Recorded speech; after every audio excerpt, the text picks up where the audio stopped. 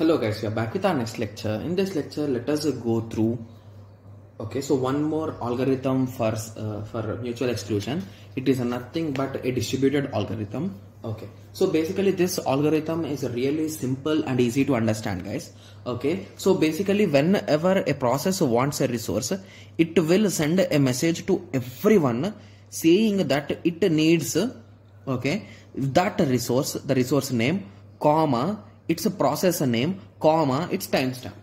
So these are the three things it will be passing and it based on that values it will be deciding based on sorry based on the responses it will decide whether to get, take the resource or not okay? So we'll be discussing those conditions don't worry. So when a process want to access a shared resource it builds a message containing the name of the resource its process number and the current logical time okay? It sends the message to all others conceptually to itself also but there will be no issue okay? So based the process status will reply to the resource. So there are totally three different cases guys. So the first case is that if a receiver is not accessing the resource and does not want to access it, it sends back okay. So assume that you sent it to someone who doesn't need anything.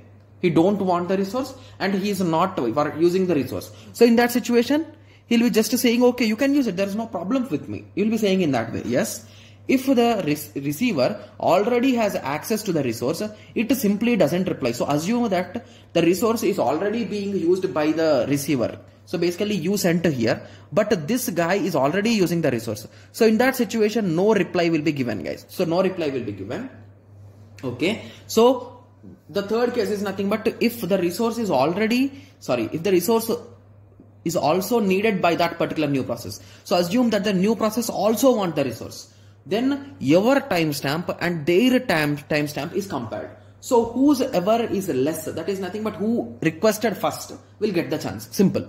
Okay. So who re requested first, they will get the chance.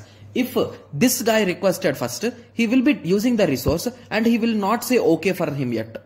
But if he got uh, lesser time, that is nothing but uh, fast, uh, faster request, then he will be saying okay and he will be using in that way it will work guys okay? So i hope everyone got a clear idea. So this is a small example guys for you if you want okay? So 0 1 and 2 so basically 0 is requesting for resource r1 so its a timestamp is 8 so 8 comma r1 8 comma r1 it's entered okay? But r2 also want r1 but its a timestamp is 12 okay? So it sends a request to 1 and it also sends to 0 but 0 already wants it so it and it wants at 8 o'clock right? Yes. So that is the reason why 0 gets a chance first. So 0 is selected and it is a granted permission so it will use. So once all the using is done it will be giving chance to 2 in that way it will work guys okay? So i hope everyone got a clear idea on a distributed algorithm. So in the next lecture we will be using we will be understanding the concept of token ring algorithm guys okay? So let us meet in the next lecture. Thank you. Thanks for watching